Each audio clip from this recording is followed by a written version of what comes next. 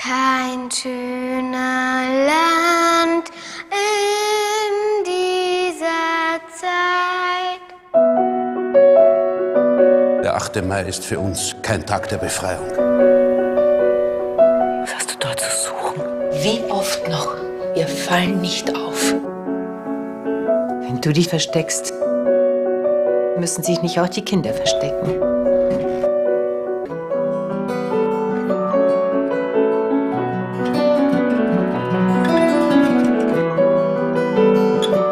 Das ist genau das, was dir am Katholischen so gefällt.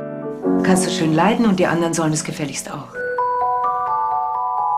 Stimmt es eigentlich, dass ich ein Jude bin? Ach, natürlich bist du ein jüdisches Mädchen.